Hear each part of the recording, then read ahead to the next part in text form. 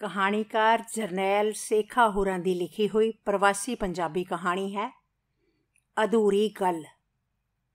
Furniture factory ਵਿੱਚ ਇਹ ਮੇਰਾ ਪਹਿਲਾ ਦਿਨ ਸੀ ਤੇ ਪਹਿਲੇ ਹੀ ਦਿਨ ਉਸ ਕੁੜੀ ਨਾਲ ਮੇਰੀ ਮੁਲਾਕਾਤ ਹੋ ਗਈ, ਜਿਹੜੀ ਮੇਰੇ ਕੋਲ ਹਾਇਰ ਸੈਕੰਡਰੀ ਤੱਕ ਪੜ੍ਹਦੀ ਰਹੀ ਸੀ।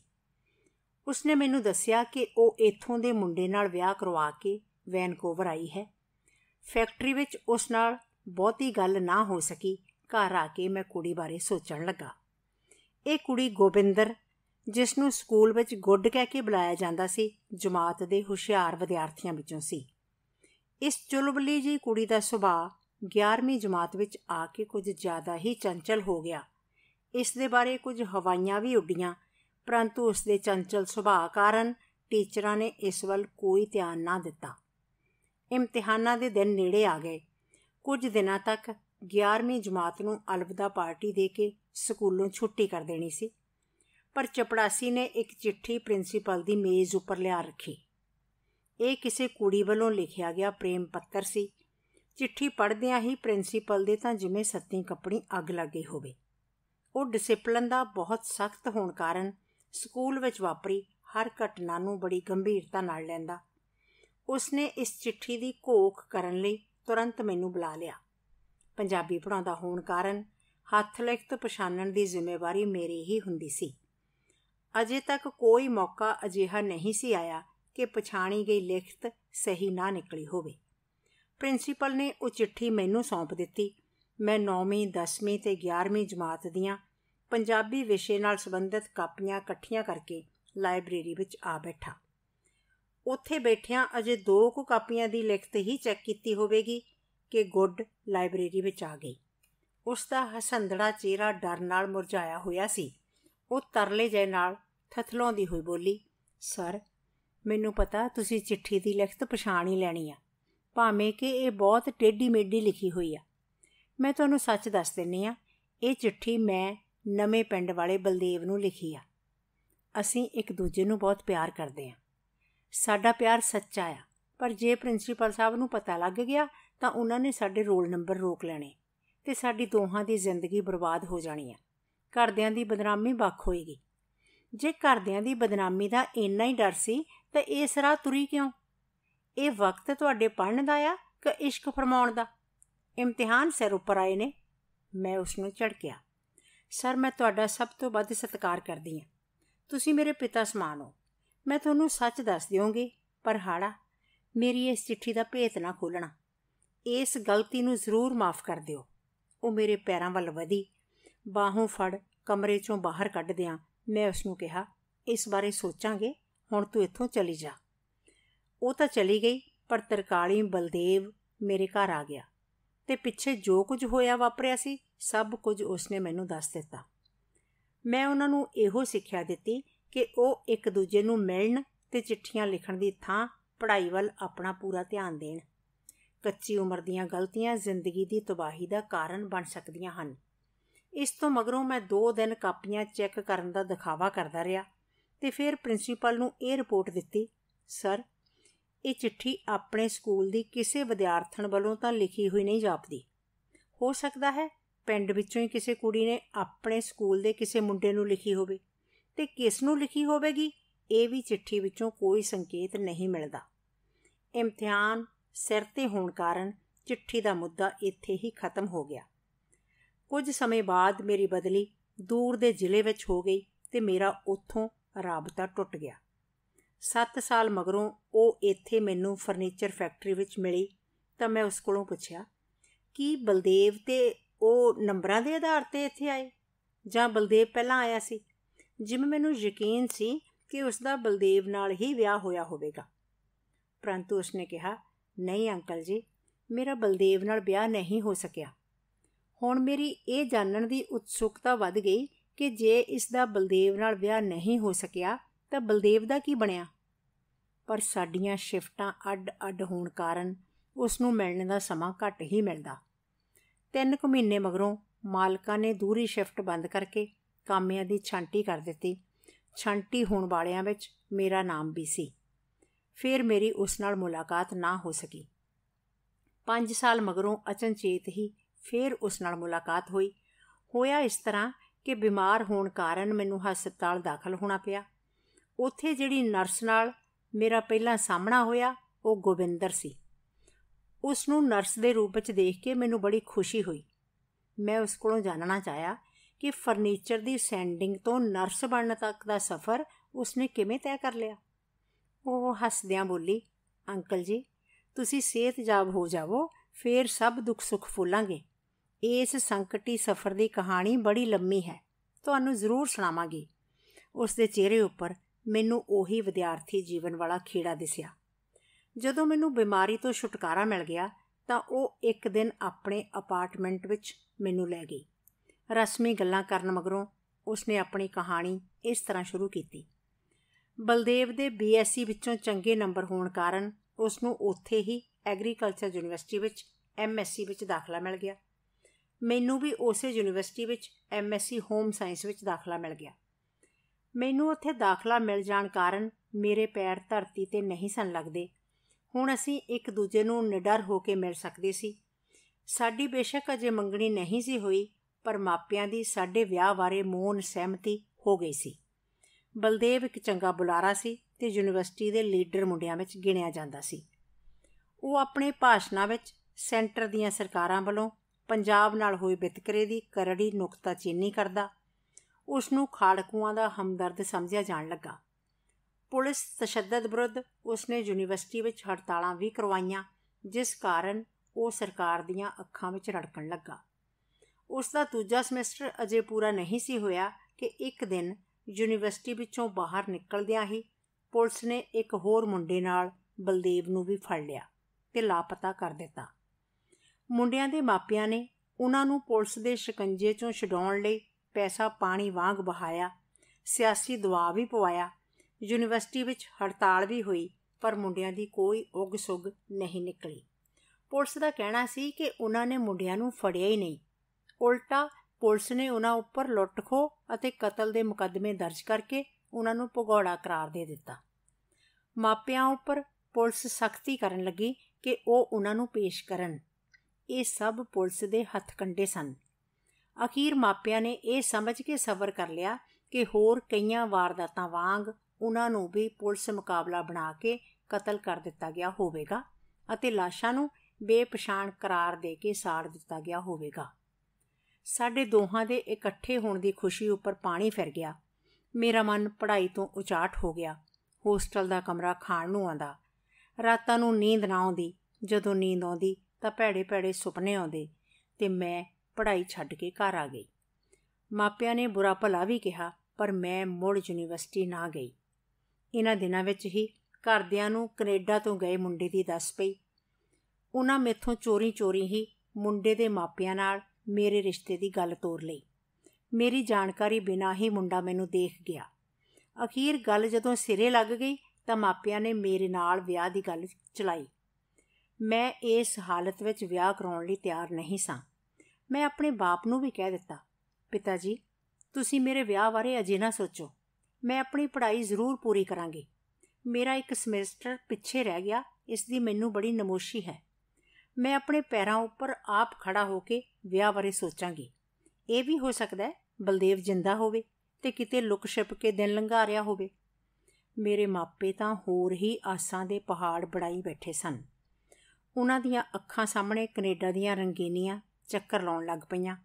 ਭਾਵੇਂ ਕਿ ਸਾਡਾ ਘਰ ਚੰਗੇ ਖਾਂਦੇ ਪੀਂਦੇ ਪਰਿਵਾਰਾਂ ਵਿੱਚੋਂ ਹੈ, ਪਰ ਉਹਨਾਂ ਦੇ ਸਿਰ ਉੱਪਰ ਸਵਾਰ ਹੋਇਆ ਕੈਨੇਡਾ ਦਾ ਭੂਤ ਤਾਂ ਹੀ ਉਤਰ ਸਕਦਾ ਸੀ ਜੇ ਮੈਂ ਵਿਆਹ ਕਰਵਾ ਕੇ ਕੈਨੇਡਾ ਚਲੀ ਜਾਵਾਂ ਤੇ ਫਿਰ ਉਹਨਾਂ ਨੂੰ ਉੱਥੇ ਸੱਦ ਲਵਾਂ। ਸੋ ਉਹਨਾਂ ਨੇ ਬਹੁਤ ਹੀਲੇ ਕੀਤੇ ਕਿ ਮੈਂ ਇਸ ਰਿਸ਼ਤੇ ਲਈ ਹਾਂ ਕਰ ਦਿਆਂ।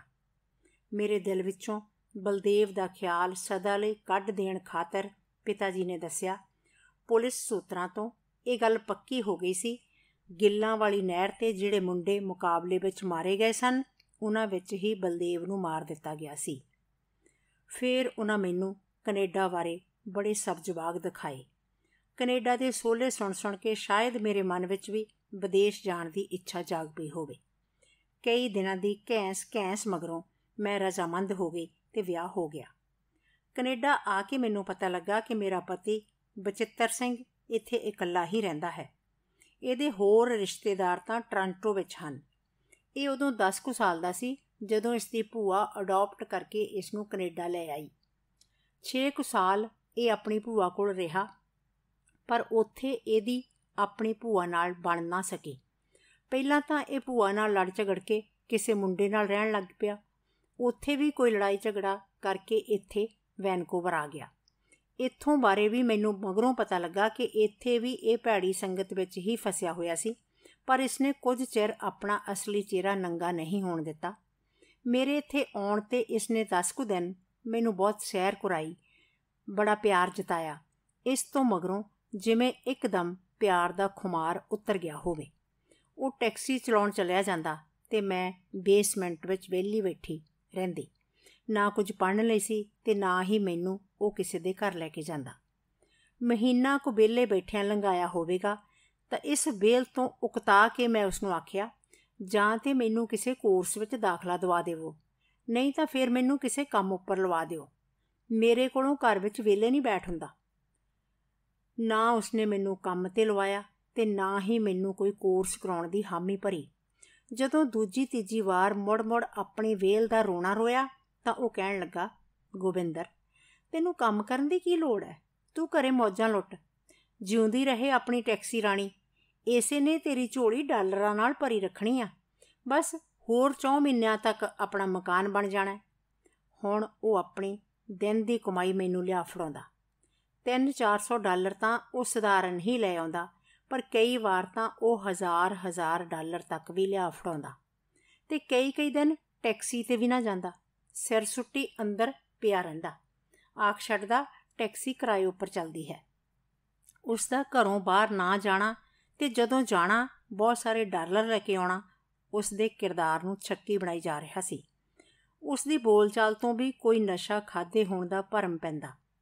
ਇਸ ਸ਼ੱਕ ਤੇ ਭਰਮ ਦੀ ਛੇਤੀ ਹੀ ਨਿਵਰਤੀ ਹੋ ਗਈ ਜਦੋਂ ਉਹ ਟੈਕਸੀ ਸਮੇਤ ਪੁਲਿਸ ਦੇ ਹੱਥ ਆ ਗਿਆ। ਮਾਲਕ ਨੇ ਤਾਂ ਟੈਕਸੀ ਉਸੇ ਦਿਨ ਛਡਵਾ ਲਈ, ਪਰ ਉਸ ਨੂੰ ਹਫਤਾ ਪਰ ਜੇਲ੍ਹ ਦੀ ਹਵਾ ਖਾਣੀ ਪਈ। ਭੱਜ ਨੱਸ ਕਰਕੇ ਉਸ ਦੇ ਸਾਥੀਆਂ ਨੇ ਉਸ ਦੀ ਜ਼ਮਾਨਤ ਤਾਂ ਕਰਵਾ ਲਈ, ਪਰ ਘਰ ਵਿੱਚ ਜੋੜੀ ਹੋਈ ਸਾਰੀ ਪੂੰਜੀ ਖਰਚ ਹੋ ਗਈ। ਤੇ ਉਸ ਕੋਲੋਂ ਟੈਕਸੀ ਚਲਾਉਣ ਦਾ ਲਾਇਸੈਂਸ ਵੀ 6 ਮਹੀਨੇ ਲਈ ਖੁੱਸ ਗਿਆ। ਹੁਣ ਉਸ ਆਪ ਹੀ ਮੈਨੂੰ ਫਰਨੀਚਰ ਫੈਕਟਰੀ ਵਿੱਚ ਕੰਮ ਉੱਪਰ ਲਵਾ ਦਿੱਤਾ। ਮੈਨੂੰ ਸਵੇਰੇ ਫੈਕਟਰੀ ਛੱਡ ਆਉਂਦਾ ਤੇ ਫਿਰ ਸ਼ਿਫਟ ਖਤਮ ਹੋਣ ਤੇ ਵਾਪਸ ਘਰ ਲੈ ਆਉਂਦਾ। ਫਿਰ ਪਤਾ ਨਹੀਂ ਕਿੱਧਰ ਜਾਂਦਾ ਤੇ ਕਿੱਧਰ ਰਹਿੰਦਾ। ਕਈ ਵਾਰ ਉਸ ਦੇ ਸਾਥੀ ਸਾਡੇ ਘਰ ਆ ਜਾਂਦੇ ਤੇ ਗੁਲਛਰੇ ਉਡਾਉਂਦੇ। ਮਾਲਕ ਮਕਾਨ ਨੇ ਸਾਨੂੰ ਗੱਲੀ ਬਾਤੀ ਬੇਸਮੈਂਟ ਖਾਲੀ ਕਰਨ ਲਈ ਵੀ ਕਹਿ ਦਿੱਤਾ। ਪੁਲਿਸ ਦੇ ਗੇੜੇ ਵੀ ਇਸ ਪਾਸੇ ਬਹੁਤ ਵੱਧ ਗਏ ਸਨ। ਬਚਿੱਤਰ ਦੇ ਨਸ਼ਿਆਂ ਦੀ ਵਰਤੋਂ ਕਰਨ ਬਾਰੇ ਪਤਾ ਤਾਂ ਮੈਨੂੰ ਇੱਥੇ ਆਉਣ ਦੇ ਕੁਝ ਦਿਨਾਂ ਮਗਰੋਂ ਹੀ ਲੱਗ ਗਿਆ ਸੀ। ਪਰ ਇਹ ਨਸ਼ਿਆਂ ਨੂੰ ਵੇਚਦਾ ਵੀ ਆ, ਇਸ ਦਾ ਪਤਾ ਮੈਨੂੰ ਟੈਕਸੀ ਦੇ ਫੜੇ ਜਾਣ ਤੇ ਹੀ ਹੋਇਆ ਤੇ ਇਹ ਵੀ ਪਤਾ ਲੱਗਾ ਕਿ ਇਹ ਟੈਕਸੀ ਵੀ ਇਹਦੀ ਆਪਣੀ ਨਹੀਂ। ਕੈਨੇਡਾ ਆਈ ਨੂੰ 6 ਮਹੀਨੇ ਵੀ ਨਹੀਂ ਸੀ ਹੋਏ। ਕਿ ਸਾਡੇ ਵਿੱਚ ਕਲੇਸ਼ ਰਹਿਣ ਲੱਗ ਪਿਆ। ਮੈਂ ਇਸ ਨੂੰ ਰੋਕਦੀ, ਅੱਗੋਂ ਇਹ ਮੈਨੂੰ ਡਰਾਉਂਦਾ, ਧਮਕਾਉਂਦਾ। ਸਾਡੇ ਇੱਥੇ ਕੋਈ ਨੇੜ ਦਾ ਰਿਸ਼ਤੇਦਾਰ ਵੀ ਨਹੀਂ ਸੀ, ਜਿਸ ਕੋਲ ਜਾ ਕੇ ਮੈਂ ਦੁੱਖ ਰੋਂਦੀ। ਅਖੀਰ ਇੱਕ ਦਿਨ ਮੈਂ ਤੰਗ ਹੋ ਕੇ ਕਹਿ ਹੀ ਦਿੱਤਾ, ਜੇ ਤੁਸੀਂ ਆਪਣੀਆਂ ਆਦਤਾਂ ਤੋਂ ਬਾਜ ਨਾ ਆਏ ਤੇ ਇਹਨਾਂ ਸਮਗਲਰਾਂ ਦਾ ਪਿੱਛਾ ਨਾ ਛੱਡਿਆ, ਤਾਂ ਮਜਬੂਰ ਹੋ ਕੇ ਮੈਨੂੰ ਕੋਈ ਹੋਰ ਕਦਮ ਵੀ ਚੁੱਕਣਾ ਪੈ ਸਕਦਾ ਹੈ। ਉਹ ਤਾੜੀ ਮਾਰ ਕੇ ਹੱਸਿਆ ਤੇ ਬੋਲਿਆ, ਹੋਰ ਕਦਮ? ਕੀ ਚੁੱਕੇਂਗੀ ਤੂੰ ਹੋਰ ਕਦਮ? ਉਹ ਭੋੜੀਏ ਗੋਬਿੰਦਰੇ, ਤੂੰ ਸਮਝਦੀ ਹੋਵੇਂਗੀ ਇੱਥੇ ਔਰਤ ਨੂੰ ਬਹੁਤ ਆਜ਼ਾਦੀ ਮਿਲੀ ਹੋਈ ਆ। ਇੱਥੇ ਤੀਵੀਂ ਦੀ ਹਰ ਗੱਲ ਸੁਣੀ ਜਾਂਦੀ ਹੈ ਉਹਨਾਂ ਨੂੰ ਬੜੇ ਹੱਕ ਨੇ। ਇਹ ਹੱਕ ਤੇ ਆਜ਼ਾਦੀਆਂ ਸਭ ਦਿਖਾਵੇ ਦੀਆਂ ਹੀ ਨੇ। ਇਹ ਕਮਜ਼ੋਰ ਮਰਦਾਂ ਤੇ ਹੀ ਲਾਗੂ ਹੁੰਦੀਆਂ ਨੇ। ਮੇਰੇ ਦਿਲ ਅੰਦਰ ਡਰ ਪੈਦਾ ਕਰਨ ਲਈ ਉਹ ਫੇਰ ਕਹਿਣ ਲੱਗਾ, ਇੱਥੇ ਇੱਕ ਤੀਮੀ ਬੜਾ ਤਿੜਤੜ ਕਰੇ ਤੇ ਘਰ ਵਾਲੇ ਤੇ ਹਮੇਸ਼ਾ ਰੋਬ ਜਮਾਇਆ ਕਰੇ। ਉਹਦੇ ਘਰ ਵਾਲੇ ਨੇ ਪਤਾ ਕੀ ਕੀਤਾ? ਉਹਦਾ ਧੰਦਾ ਭੁਗਤਾ ਕੇ ਪਾਈ ਗਾਰਬੇਜ ਬੈਗ ਵਿੱਚ ਤੇ ਗਾਰਬੇਜ ਬੈਗ ਸੁੱਟਣ ਵਾਲੀ ਥਾਂ ਤੇ ਜਾ ਕੇ ਡੰਪ ਕਰ ਦਿੱਤਾ। ਪਰ ਉਸ ਦੇ ਮਾੜੇ ਕਰਮਾਂ ਨੂੰ ਉਦੋਂ ਹੀ ਥਾਂ ਪੱਧਰਾ ਕਰਨ ਲਈ ਬੁਲਡੋਜ਼ਰ ਆ ਗਿਆ। ਕਿਸੇ ਚੀਜ਼ ਨਾਲ ਅੜ ਕੇ ਉਹ ਗਾਰਬੇਜ ਬੈਗ ਪਾਟ ਗਿਆ ਸੀ ਤੇ ਤੀਵੀਂ ਦਾ ਇੱਕ ਹੱਥ ਬਾਹਰ ਨਿਕਲ ਆਇਆ ਤੇ ਡਰਾਈਵਰ ਨੂੰ ਪਤਾ ਲੱਗ ਗਿਆ। ਉਸ ਨੇ ਪੁਲਿਸ ਨੂੰ ਇਤਲਾਹ ਦੇ ਦਿੱਤੀ। ਪੁਲਿਸ ਨੇ ਜਾਂਚ ਪੜਤਾਲ ਕਰਨ ਮਗਰੋਂ ਉਸ ਆਦਮੀ ਨੂੰ ਫੜ ਲਿਆ। ਮੁਕੱਦਮਾ ਚੱਲ ਰਿਹਾ ਏ। ਹੋਣਾ ਕੀ ਆ? ਜਾਂ ਤੇ ਉਸਨੇ ਬਰੀ ਹੋ ਜਾਣਾ ਤੇ ਜਾਂ ਵੱਧ ਤੋਂ ਵੱਧ 5-7 ਸਾਲ ਕੈਦ। ਅੱਧੀ ਸਜ਼ਾ ਖਤਮ ਹੋਣ ਤੇ ਬੰਦਾ ਪੈਰੋਲ ਤੇ ਛੁੱਟ ਕੇ ਘਰ ਆ ਜਾਂਦਾ। ਹੋਰ ਸੁਣ ਲੈ, ਇੱਥੇ ਇੱਕ ਆਪਣਾ ਹੀ ਭਾਈਵੰਦ ਹੈ। ਉਹ ਇੰਡੀਆ ਤੋਂ ਵਿਆਹ ਕਰਵਾ ਕੇ ਘਰ ਵਾਲੀ ਨੂੰ ਇੱਥੇ ਲੈ ਆਉਂਦਾ। ਸਾਲ ਡੇਢ ਮਗਰੋਂ ਤੀਮੀ ਦੀ ਮੌਤ ਹੋ ਜਾਂਦੀ ਤੇ ਉਸ ਦੇ ਬੀਮੇ ਦੀ ਰਕਮ ਉਹ ਆਪ ਵਸੂਲ ਕਰ ਲੈਂਦਾ। ਉਸ ਦੀਆਂ ਦੋ ਤੀਵੀਆਂ ਮਰ ਗਈਆਂ ਪਰ ਕਿਸੇ ਨੂੰ ਸ਼ੱਕ ਨਾ ਹੋਇਆ। ਪਰ ਜਦੋਂ ਉਸ ਦੀ ਤੀਸਰੀ ਤੀਵੀਂ ਦੀ ਮੌਤ ਹੋਈ, ਤਾਂ ਬੀਮਾ ਕੰਪਨੀ ਨੂੰ ਦਾਲ ਵਿੱਚ ਕੁਝ ਕਾਲਾ ਕਾਲਾ ਜਾਪਿਆ। ਉਹਨਾਂ ਇਹ ਕੇਸ ਪੁਲਿਸ ਨੂੰ ਦੇ ਦਿੱਤਾ। ਫੇਰ ਕਿਤੇ ਜਾ ਕੇ ਪਤਾ ਲੱਗਾ ਕਿ ਉਹ ਉਹਨਾਂ ਨੂੰ ਅਜਿਹੀ ਦਵਾਈ ਖਵਾਉਂਦਾ ਸੀ, ਜਿਸ ਨਾਲ ਉਹ ਹੌਲੀ-ਹੌਲੀ ਮੌਤ ਦੇ ਮੂੰਹ ਜਾ ਪੈਂਦੀਆਂ। ਉਸ ਦਾ ਵੀ ਕੀ ਬਣਨਾ? ਬਸ ਇਹੋ 10-12 ਸਾਲ ਕੈਦ। ਇੱਥੇ ਮੌਤ ਦੀ ਸਜ਼ਾ ਤਾਂ ਹੈ ਹੀ ਨਹੀਂ। ਇਹੋ ਜਿਹੀਆਂ ਕਈ ਹੋਰ ਕਿੱਸੇ ਕਹਾਣੀਆਂ ਸੁਣਾ ਕੇ ਮੈਨੂੰ ਮਾਨਸਿਕ ਤੌਰ ਤੇ ਡਰਪੋਕ ਬਣਾ, ਪਤਾ ਨਹੀਂ ਉਹ ਮੇਰੇ ਕੋਲੋਂ ਕੀ ਚਾਹੁੰਦਾ ਸੀ। ਉਸ ਦੀਆਂ ਇਹਨਾਂ ਗੱਲਾਂ ਨੇ ਹੀ ਮੈਨੂੰ ਮਾਨਸਿਕ ਰੋਗੀ ਕਰ ਦਿੱਤਾ।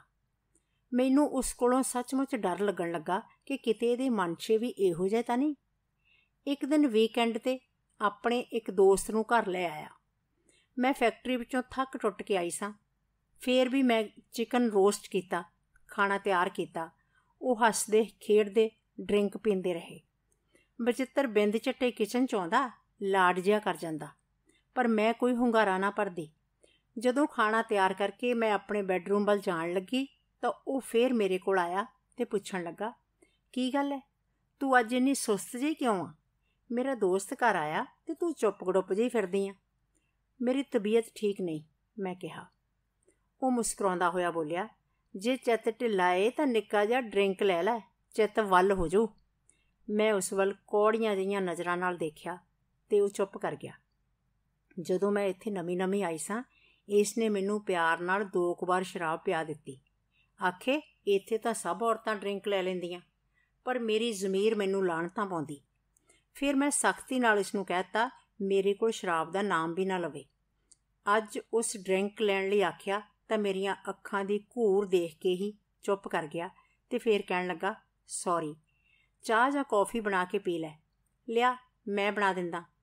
ਮੇਰੇ ਨਾ ਨਾ ਕਰਨ ਤੇ ਵੀ ਉਸਨੇ ਦੁੱਧ ਦਾ ਇੱਕ ਕੱਪ ਪਤੀਲੀ ਵਿੱਚ ਪਾ ਕੇ ਸਟੋਵ ਔਨ ਕਰ ਦਿੱਤਾ। ਮੈਂ ਕਿਹਾ, ਤੁਸੀਂ ਆਪਣੇ ਦੋਸਤ ਕੋਲ ਜਾਓ, ਮੈਂ ਆਪੇ ਚਾਹ ਬਣਾ ਲਵਾਂਗੀ। ਉਹ ਮੇਰੀ ਕੰਡ ਉੱਪਰ ਥਾਪੀ ਦਿੰਦਾ ਹੋਇਆ ਕਿਚਨ ਵਿੱਚੋਂ ਬਾਹਰ ਹੋ ਗਿਆ। ਮੈਂ ਚਾਹ ਪੀ ਕੇ ਆਪਣੇ ਬਿਸਤਰੇ ਵਿੱਚ ਗਈ ਸੋਚਿਆ ਜਦੋਂ ਉਹਨਾਂ ਨੂੰ ਲੋੜ ਹੋਵੇਗੀ, ਉੱਠ ਕੇ ਖਾਣਾ ਲਾ ਦੇਵਾਂਗੀ। ਬਿਸਤਰੇ ਵਿੱਚ ਪੈਣ ਮਗਰੋਂ ਮੈਨੂੰ ਗੂੜੀ ਨੀਂਦ ਆ ਗਈ। ਫਿਰ ਮੈਨੂੰ ਸੁਪਨੇ ਜੈ ਵਾਂਗ ਜਾਪਿਆ, ਜਿਵੇਂ ਮੈਂ ਕਿਸੇ ਹੋਰ ਦੀਆਂ ਬਾਹਾਂ ਵਿੱਚ ਹੋਵਾਂ। ਜਦੋਂ ਮੈਨੂੰ ਜਾਗ ਆਈ ਤਾਂ ਅਜੀਬ ਕਿਸਮ ਦੀ ਸੁਸਤੀ ਅਤੇ ਮੇਰਾ ਸਿਰ ਭਾਰੀ ਹੋਣ ਲੱਗਾ। ਅੱਖਾਂ ਮਿਚ-ਮਿਚ ਜਾਂਦੀਆਂ। ਮੈਨੂੰ ਰਾਤੀ ਸੁਪਨੇ ਜੈ ਵਿੱਚ ਵਾਪਰੀ ਘਟਨਾ ਅਸਲੀਅਤ ਜਾਪੀ। ਬਚਿੱਤਰ ਦਾ ਮੈਨੂੰ ਪਹਿਲਾਂ ਡਰਿੰਕ ਲਈ ਕਹਿਣਾ ਤੇ ਫਿਰ ਚਾਹ ਪੀਣ ਲਈ ਜ਼ੋਰ ਪਾਉਣਾ ਅਤੇ ਆਪਣੇ ਆਪ ਪਤੀਲੀ ਵਿੱਚ ਇੱਕ ਕੱਪ ਦੁੱਧ ਪਾਉਣ ਦਾ ਕਾਰਨ ਵੀ ਮੇਰੀ ਸਮਝ ਵਿੱਚ ਕੁਝ-ਕੁਝ ਆਇਆ।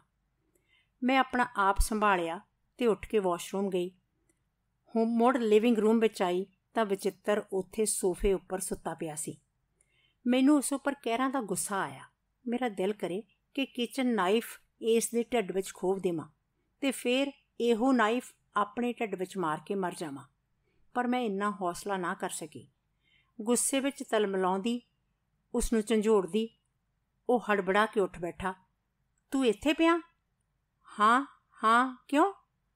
ਤੂੰ ਮੇਰੇ, ਤੇ ਮੇਰੇ ਨਾਲ ਕੌਣ ਸੁੱਤਾ ਸੀ? ਮੈਂ ਮੈਂ, ਕਿਉਂ? ਗੱਲ ਕੀ ਹੋਈ? ਇੰਨਾ ਗੁੱਸਾ ਕਾਦੇ ਲਈ? ਰਾਤੀ ਮੈਨੂੰ ਅੰਦਰ ਅਕਹਿ ਜਿਹਾ ਆਇਆ ਤੇ ਮੈਂ ਇੱਥੇ ਸੋਫੇ ਤੇ ਆ ਕੇ ਪੈ ਗਿਆ।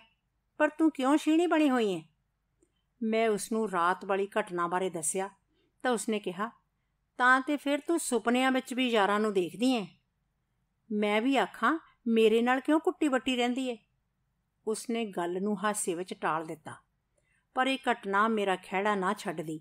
ਮੈਂ ਸੋਚਦੀ ਕਿ ਇਸਨੇ ਤਾਂ ਅਜਿਹੀ ਕਮੀਨੀ ਹਰਕਤ ਨਹੀਂ ਕੀਤੀ ਹੋਣੀ। ਹੋ ਸਕਦਾ ਹੈ ਮੇਰਾ ਸੁਪਨਾ ਹੀ ਹੋਵੇ। ਫਿਰ ਮੈਂ ਸੋਚਿਆ ਕਿ ਜੇ ਇਹ ਅਸਲੀਅਤ ਹੋਈ ਤਾਂ ਅਜਿਹਾ ਮੌਕਾ ਫੇਰ ਵੀ ਆ ਸਕਦਾ। ਤੇ ਇਹ ਮੌਕਾ ਛੇਤੀ ਹੀ ਆ ਗਿਆ। ਫਿਰ ਇੱਕ ਦਿਨ ਉਸ ਦਾ ਉਹੀ ਦੋਸਤ ਘਰ ਆਇਆ। ਮੈਂ ਆਪਣੀ ਤਬੀਅਤ ਠੀਕ ਨਾ ਹੋਣ ਦਾ ਬਹਾਨਾ ਕੀਤਾ।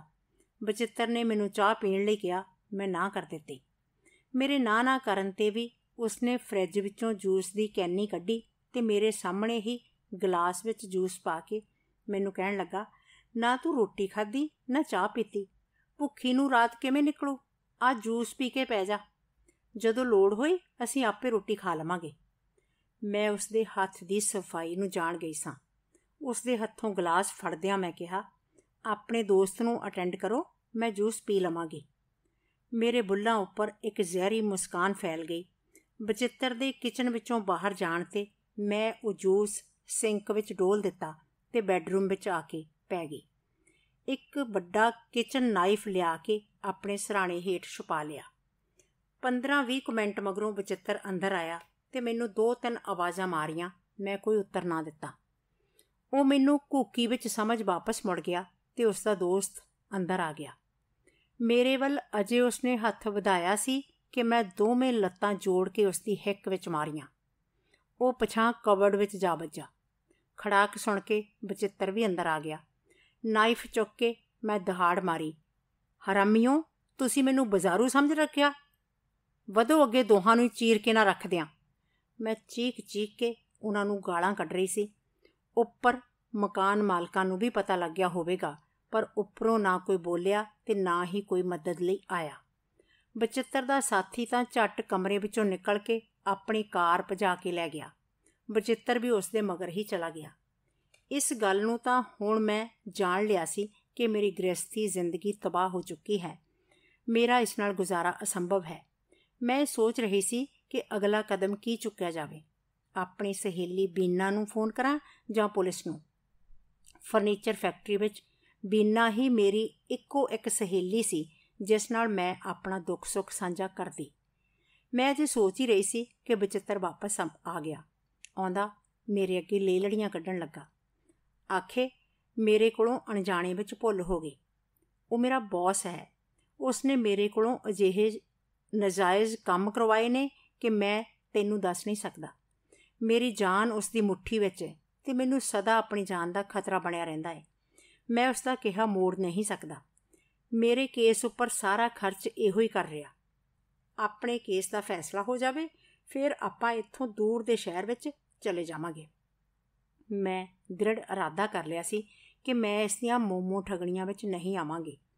ਭਾਵੇਂ ਇਹ ਕਿੰਨੀਆਂ ਵੀ ਸੱਚੀਆਂ ਹੋਣ। ਫਿਰ ਸੋਚਿਆ, ਅੱਜ ਦੀ ਰਾਤ ਕਿਵੇਂ ਨਾ ਕਿਵੇਂ ਇੱਥੇ ਹੀ ਲੰਘਾਈ ਜਾਵੇ। ਇਹੋ ਸੋਚ ਕੇ ਉਸ ਨੂੰ ਕਿਹਾ, ਜੋ ਹੋਇਆ ਉਸ ਨੂੰ ਭੁੱਲ ਜਾਵੋ ਤੇ ਹੁਣ ਸੌਂ ਜਾਵੋ। ਮੈਂ ਇਹ ਰਾਤ ਸੋਚਦਿਆਂ ਤੇ ਪਲਸੇਟੇ ਮਾਰਦਿਆਂ ਲੰਘਾਈ। ਚਾਹ ਪੀ ਕੇ ਉਹ ਸਵੇਰੇ ਸਵੇਰੇ ਹੀ ਘਰੋਂ ਨਿਕਲ ਗਿਆ। ਉਸ ਦੇ ਬਾਹਰ ਜਾਂਦਿਆਂ ਮੈਂ ਬੀਨਾ ਨੂੰ ਫੋਨ ਕੀਤਾ ਤੇ ਰਾਤੀ ਹੋਈ ਬੀਤੀ ਉਸ ਨੂੰ ਦੱਸ ਦਿੱਤੀ। ਬੀਨਾ ਨੇ ਕਿਹਾ, ਗੋਬਿੰਦਰ, ਆਪਣਾ ਕੀਮਤੀ ਸਮਾਨ ਅਤੇ ਕੁਝ ਕੱਪੜੇ ਅਟੈਚੀ ਵਿੱਚ ਪਾ ਕੇ ਤਿਆਰ ਰਹਿ, ਮੈਂ ਹੁਣੇ ਆਈ। ਬੀਨਾ ਕਾਰ ਲੈ ਕੇ ਆ ਗਈ। ਮੈਂ ਆਪਣਾ ਸਮਾਨ ਕਾਰ ਵਿੱਚ ਰੱਖਿਆ, ਘਰ ਨੂੰ ਸਦਾ ਲਈ ਅਲਵਿਦਾ ਆਖ ਦਿੱਤਾ। ਬੀਨਾ ਮੈਨੂੰ ਇੱਕ ਸੋਸ਼ਲ ਵਰਕਰ ਦੇ ਘਰ ਲੈ ਗਈ। ਸੋਸ਼ਲ ਵਰਕਰ ਨੇ ਬਿਨਾਂ ਦੇਰੀ ਮੈਨੂੰ ਸ਼ੈਲਟਰ, ਹੋਮ ਪਹੁੰਚਾ ਦਿੱਤਾ। ਇੱਕ ਘੰਟੇ ਤੋਂ ਘੱਟ ਸਮੇਂ ਵਿੱਚ ਇਹ ਸਭ ਕੁਝ ਹੋ ਗਿਆ। ਮੈਨੂੰ ਕੁਝ ਦਿਨਾਂ ਮਗਰੋਂ ਪਤਾ ਲੱਗਾ ਕਿ ਬਚਿੱਤਰ ਝੱਟ ਪਿੱਛੋਂ ਹੀ ਆਪਣੇ ਕੁਝ ਸਾਥੀਆਂ ਨਾਲ ਘਰ ਆਇਆ। ਤੇ ਮੈਨੂੰ ਘਰ ਨਾ ਦੇਖ ਕੇ ਉਹ ਸਿੱਧਾ ਬੀਨਾ ਦੇ ਘਰ ਗਿਆ ਤੇ ਉਸ ਕੋਲੋਂ ਮੇਰੇ ਬਾਰੇ ਪੁੱਛਿਆ। ਉਸਨੇ ਖਦਸ਼ਾ ਜ਼ਾਹਰ ਕਰਦਿਆਂ ਕਿਹਾ, ਹੋ ਸਕਦਾ ਹੈ ਉਹ ਪੁਲਿਸ ਕਸਟਡੀ ਵਿੱਚ ਹੋਵੇ। ਉਸ ਤੋਂ ਮਗਰੋਂ ਉਹਨਾਂ ਨੇ ਮੇਰੀ ਭਾਲ ਕਈ ਥਾਈਂ ਕੀਤੀ, ਪਰ ਕੋਈ ਥਾਪ ਥੋ ਪਤਾ ਨਾ ਕੱਢ ਸਕੇ। ਮੇਰੇ ਬਿਆਨਾਂ ਦੇ ਆਧਾਰ ਤੇ ਮੇਰਾ ਕੇਸ ਪੁਲਿਸ ਨੂੰ ਦੇ ਦਿੱਤਾ ਗਿਆ। ਪੁਲਿਸ ਨੇ ਘਰ ਦਾ ਸਮਾਨ ਤਾਂ ਆਪਣੀ ਨਿਗਰਾਨੀ ਹੇਠ ਲੈ ਲਿਆ, ਪਰ ਬਚਿੱਤਰ ਉਹਨਾਂ ਦੇ ਹੱਥ ਨਾ ਆਇਆ। ਹੁਣ ਮੈਨੂੰ ਖਤਰਾ ਆਪਣੇ ਪਤੀ ਤੋਂ ਹੀ ਨਹੀਂ, ਉਸ ਦੇ ਬੌਸ ਤੋਂ ਵੀ ਸੀ। ਇਸ ਲਈ ਸ਼ੈਲਟਰ ਹੋਮ ਵਿੱਚ ਰਹਿਣ ਲਈ ਮੈਨੂੰ 1 ਮਹੀਨਾ ਹੋਰ ਦੀ ਮਨਜ਼ੂਰੀ ਮਿਲ ਗਈ। ਹੁਣ ਮੈਂ ਚਾਹੁੰਦੀ ਸਾਂ ਕਿ ਮੈਂ ਇੱਥੋਂ ਕਿਤੇ ਦੂਰ ਅਜਿਹੀ ਥਾਂ ਚਲੀ ਜਾਵਾਂ, ਜਿੱਥੇ ਕੋਈ ਵੀ ਮੈਨੂੰ ਜਾਣਦਾ ਨਾ ਹੋਵੇ। ਮੈਂ ਇਸ ਬਾਰੇ ਆਪਣੇ ਸੋਸ਼ਲ ਵਰਕਰ ਨਾਲ ਵੀ ਗੱਲ ਕੀਤੀ। ਉਸਨੇ ਇਸ ਉੱਪਰ ਵਿਚਾਰ ਕਰਨ ਦਾ ਭਰੋਸਾ ਵੀ ਦਿਵਾਇਆ, ਕਿਉਂਕਿ ਜੇ ਪੁਲਿਸ ਨੂੰ ਵਿਚਿੱਤਰ ਹੋਰਾਂ ਦੀ ਤਲਾਸ਼ ਸੀ ਤਾਂ ਵਿਚਿੱਤਰ ਹੋਰੀ ਮੇਰੀ ਭਾਲ ਵਿੱਚ ਸਨ। ਉਹ ਪਤਾ ਕਰਨਾ ਚਾਹੁੰਦੇ ਸਨ ਕਿ ਮੇਰੀ ਸੋਸ਼ਲ ਵਰਕਰ ਕੌਣ ਹੈ ਤੇ ਮੈਂ ਕਿਹੜੇ ਸ਼ੈਲਟਰ ਹੋਮ ਵਿੱਚ ਹਾਂ। ਉਹ ਅਜੇ ਤੱਕ ਆਪਣੇ ਮੰਤਵ ਵਿੱਚ ਸਫਲ ਨਹੀਂ ਸਨ ਹੋ ਸਕੇ। ਫਿਰ ਵਿਚਿੱਤਰ ਅਤੇ ਉਸਦੇ ਬੌਸ ਦੇ ਕਤਲ ਦੀ ਖਬਰ ਆ ਗਈ। ਇਹ ਕਤਲ ਨਸ਼ੀਲੇ ਪਦਾਰਥਾਂ ਦੀ ਤਸਕਰੀ ਕਰਨ ਵਾਲੇ ਗਰੋਹਾਂ ਦੀ ਆਪਸੀ ਦੁਸ਼ਮਣੀ ਦਾ ਕਾਰਨ ਸੀ। ਮੈਨੂੰ ਸੁਨੇਹਾ ਮਿਲਿਆ ਕਿ ਜੇ ਮੈਂ ਚਾਹਾਂ ਤਾਂ ਆਪਣੇ ਪਤੀ ਦੇ ਕਿਰਿਆਕਰਮ ਦਾ ਪ੍ਰਬੰਧ ਕਰ ਸਕਦੀ ਹਾਂ। ਪਰ ਮੈਂ ਸਾਫ਼ ਇਨਕਾਰ ਕਰ ਦਿੱਤਾ। ਇਸ ਤੋਂ ਮਗਰੋਂ ਮੈਂ ਆਪਣੇ ਅਤੀਤ ਨੂੰ ਸੁਪਨਾ ਸਮਝ ਕੇ ਵਿਸਾਰ ਦਿੱਤਾ ਤੇ ਨਵੇਂ ਸਿਰੇ ਤੋਂ ਜ਼ਿੰਦਗੀ ਸ਼ੁਰੂ ਕਰਨ ਦਾ ਫੈਸਲਾ ਕਰ ਲਿਆ। ਸੋਸ਼ਲ ਸਰਵਿਸ ਵਾਲਿਆਂ ਨੂੰ ਯਕੀਨ ਹੋ ਗਿਆ ਕਿ ਹੁਣ ਮੇਰੀ ਜਾਨ ਨੂੰ ਕੋਈ ਖਤਰਾ ਨਹੀਂ, ਤਾਂ ਮੈਨੂੰ ਇਹ ਅਪਾਰਟਮੈਂਟ ਉਹਨਾਂ ਕਿਰਾਏ ਤੇ ਦਵਾ ਦਿੱਤਾ। ਦਿਨੇ ਮੈਂ ਪੜ੍ਹਾਈ ਕਰਦੀ ਤੇ ਰਾਤੀ ਇੱਕ ਹੋਟਲ ਵਿੱਚ ਕੰਮ ਕਰਦੀ। ਇਸ ਤਰ੍ਹਾਂ ਮੈਂ ਆਪਣਾ ਕੋਰਸ ਪੂਰਾ ਕਰ ਲਿਆ। ਕੁਝ ਸਮੇਂ ਬਾਅਦ ਮੈਨੂੰ ਇਸ ਹਸਪਤਾਲ ਵਿੱਚ ਜੌਬ ਮਿਲ ਗਈ। ਹੁਣ ਮੈਂ ਰੈਗੂਲਰ ਹੋ ਗਈ ਹਾਂ। ਹੁਣ ਸ਼ਾਂਤੀ ਨਾਲ ਆਪਣਾ ਜੀਵਨ ਪੂਰਾ ਕਰ ਰਹੀ ਹਾਂ। ਇੰਨਾ ਆਖ ਉਹ ਚੁੱਪ ਹੋ ਗਈ। ਤੂੰ ਆਪਣੇ ਮਾਪਿਆਂ ਬਾਰੇ ਤਾਂ ਗੱਲ ਹੀ ਨਹੀਂ ਕੀਤੀ। ਉਹਨਾਂ ਦਾ ਅਪਲਾਈ ਕੀਤਾ ਸੀ? ਮੈਂ ਉਸ ਨੂੰ ਪੁੱਛਿਆ। ਹੁਣ ਤੱਕ ਮੈਂ ਹੰਗਾਰਾ ਹੀ ਪਰਦਾ ਰਿਹਾ ਸਾਂ। ਮੇਰੀ ਤਬਾਹੀ ਵਿੱਚ ਮੇਰੇ ਮਾਪਿਆਂ ਦਾ ਵੀ ਹੱਥ ਹੈ। ਜਦੋਂ ਵੀ ਮੈਂ ਉਹਨਾਂ ਨੂੰ ਫੋਨ ਕਰਦੀ, ਆਪਣੇ ਦੁੱਖੜੇ ਰੋਂਦੀ, ਤਾਂ ਉਹਨਾਂ ਦਾ ਇਹੋ ਜਵਾਬ ਹੁੰਦਾ ਨੀਵੀਂ ਹੋ ਕੇ ਦਿਨ ਕੱਢ ਲੈ ਤੇ ਛੇਤੀ ਸਾਡੇ ਕਾਗਜ਼ ਭਰ ਕੇ ਭੇਜ ਦੇ। ਅਸੀਂ ਤੇਰੇ ਕੋਲ ਆ ਕੇ ਸਭ ਨਜਿੱਠ ਲਵਾਂਗੇ। ਉਹਨਾਂ ਨੂੰ ਮੇਰਾ ਨਹੀਂ, ਆਪਣਾ ਬਹੁਤਾ ਫਿਕਰ ਸੀ। ਕਿਤੇ ਕੈਨੇਡਾ ਜਾਣੋ, ਰਹਿ ਨਾ ਜਾਈਏ। ਜਿਵੇਂ ਮੈਂ ਪਹਿਲਾਂ ਵੀ ਦੱਸਿਆ ਕਿ ਮੈਂ ਆਪਣੇ ਅਤੀਤ ਨੂੰ ਵਿਸਾਰ ਦਿੱਤਾ ਹੈ, ਹੁਣ ਮੈਂ ਇਸ ਨਾਲ ਵੱਜਣਾ ਨਹੀਂ ਚਾਹੁੰਦੀ। ਤੇ ਭਵਿੱਖ ਬਾਰੇ ਕੀ ਸੋਚਿਆ? ਮੇਰਾ ਦੂਜਾ ਸਵਾਲ ਸੀ। ਭਵਿੱਖ ਨੂੰ ਸੋਚ ਕੇ ਤਾਂ ਇਹ ਕਿੱਤਾ ਚੁਣਿਆ ਹੈ। ਆਪਣੀ ਰੋਜ਼ੀ ਦਾ ਸਮਾਨ ਵੀ ਤੇ ਮਰੀਜ਼ਾਂ ਦੀ ਸੇਵਾ ਵੀ। ਨਹੀਂ, ਮੇਰਾ ਮਤਲਬ ਭਵਿੱਖ ਦੇ ਜੀਵਨ ਸਾਥੀ ਤੁਸੀਂ। ਸ਼ਾਇਦ ਬਲਦੇਵ ਬਾਰੇ ਕੋਈ ਸੂਹ ਲੱਗ ਗਈ ਹੋਵੇ। ਅੰਕਲ ਜੀ, ਮੈਂ ਇੰਨੀ ਆਦਰਸ਼ਵਾਦੀ ਵੀ ਨਹੀਂ ਕਿ ਬੀਤੇ ਦੇ ਪਿਆਰ ਸਹਾਰੇ ਹੀ ਸਾਰੀ ਜ਼ਿੰਦਗੀ ਬਤੀਤ ਕਰਦੇ ਆ। ਰਹੀ ਹੋਰ ਜੀਵਨ ਸਾਥੀ ਦੀ ਗੱਲ, ਮੈਨੂੰ ਪਹਿਲੇ ਜੀਵਨ ਸਾਥੀ ਕੋਲੋਂ ਕੀ ਸੁੱਖ ਮਿਲਿਆ?